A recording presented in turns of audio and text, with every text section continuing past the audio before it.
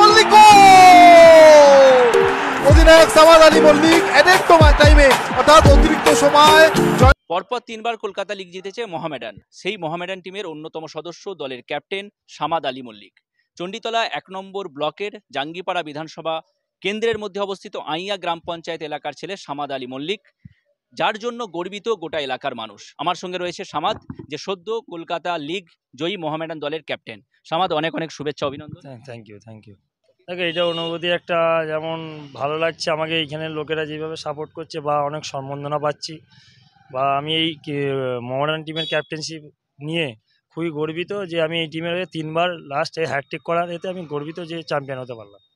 এটা তো একটা বাড়তি পাওনা অবশ্যই যে কলকাতার মধ্যে তিনটে টিম একসাথে কলকাতা লিগ সবার মুখে চেয়ে থাকে যে সবাই যে খেলাটা দেখার জন্যে।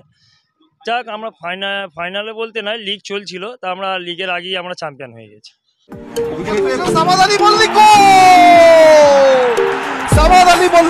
সেইটা অনুভূতি দেখো সেই গোলটা একটা গুরুত্বপূর্ণ ম্যাচ ছিল পিয়ারলেসের সাথে। তা সেই গোলটা করেছিলাম খুবই ভালো আর গুরুত্বপূর্ণ ম্যাচে ওইটা। আমাদের ওই পয়েন্টটা না থাকলে হয়তো আমরা আজকে লড়াই থেকে হারিয়ে যেতে পারতাম। তাই এইটা আমাদের একটা মোটিভেশন যে কলকাতা লিগটা জিতলাম এটা একটা মোটিভেশন আর জুনিয়র যে সকল প্লেয়াররা আছে তাদের খালি নিয়ে আগে চলা আর অফিসিয়ালরা যেভাবে সাপোর্ট করছে বা আরও যে কোচের স্টাফ যেভাবে আমাদেরকে সাপোর্ট করছে এইভাবে করতে থাকলে আমরা আই লিগেও সাফল্য পাবো.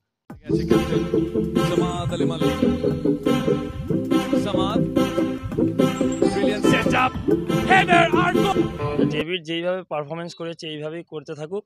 আর আমরা যেইভাবে সাপোর্ট করি সবাই যেইভাবে সাপোর্ট করছে আমরাও করতে থাকি। দেখো এলাকার মানুষরা আমাকে প্রচুরই সাপোর্ট করে। আর এইভাবেই সাপোর্ট করতে থাকবে। আমাদের এলাকার আরও যেসব জুনিয়র ছেলেরা যেসব খেলছে, তাদেরও যদি কোনো সুযোগ সুবিধা হাত বাড়ানোর মতন আমার যদি কোনো সাহায্য থাকে, আমি অবশ্যই হেল্প করব। সংক্ষেপে বলতে, এই ছোটোবেলা থেকে আমি এখনই স্কুল মাঠে আমি খেলা স্টার্ট করি। সেইখান থেকে আমাকে আমার দাদা নিয়ে যায় আমাকে উত্তর উত্তরপাড়ায়। সেখান থেকে আমি খেলতাম, বাড়ি থেকে নিয়ে সব খাবার দাবার, আমার সব কিছু আমার দাদা ওইখানে দিয়ে আসতো। তা আমার মা, দাদা বাড়ি থেকে যেভাবে হেল্প করেছে, এরমভাবে যদি ছেলেদের, কোনো ছেলেকে বা আমার মতন যদি করতে চায় তা এইভাবে যদি হেল্প করতে থাকে, অবশ্যই সে একটা জায়গায় যাবে। প্রফেশনালি বলতে আমার দাদা কলকাতায় যাতায়াত করতো যে, ঢাকুরিয়ায়। তা ওইখানে এক জায়গায় খেলা দেখতে দেখতে এমনি মাঠে প্র্যাকটিস হতো। ওইখানে দেখতে দেখতে ওরও টার্গেট হয়েছিল যে, আমার ভাইকে একটা যে, আমি প্লেয়ার তৈরি করব। সেইখান থেকে যাত্রা আমার শুরু, ঢাকুরিয়া থেকে আমার প্র্যাকটিস করতাম, কিন্তু উত্তরপাড়াতেই আমার মেন এ হয়েছে।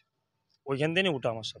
আগামী দিনে আমার পরিকল্পনা মডার্ন টিমকে আইএসএলে নিয়ে যাওয়া একটাই টার্গেট আর আমার টার্গেট হচ্ছে ন্যাশনাল টিমে খেলা নিয়ে ভারত ভারতের টিমে অবশ্যই আমি চেষ্টা করে যাচ্ছি, এলাকার মানুষরা যেভাবে আমায় সাপোর্ট করছে প্লাস যেভাবে আশীর্বাদ, দোয়া করছে এভাবে করতে থাক আমি অবশ্যই পৌঁছাব। জি এম মার্বেল ওয়ার্ল্ড স্বপ্ন আপনার, সঙ্গে আমরা।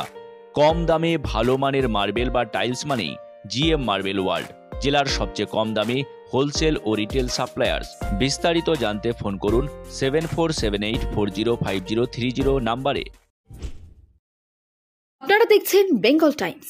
প্রতিদিনের গুরুত্বপূর্ণ খবরের আপডেট পেতে অবশ্যই বেঙ্গল টাইমস ইউটিউব চ্যানেলটি সাবস্ক্রাইব করুন, পাশাপাশি ফলো করুন বেঙ্গল টাইমস ফেসবুক পেজটিও সুস্থ থাকুন, ভালো থাকুন। আর অবশ্যই দেখতে থাকুন আপনাদের প্রিয় channel Bengal Times. Bengal Times নিরপেক্ষ সংবাদ।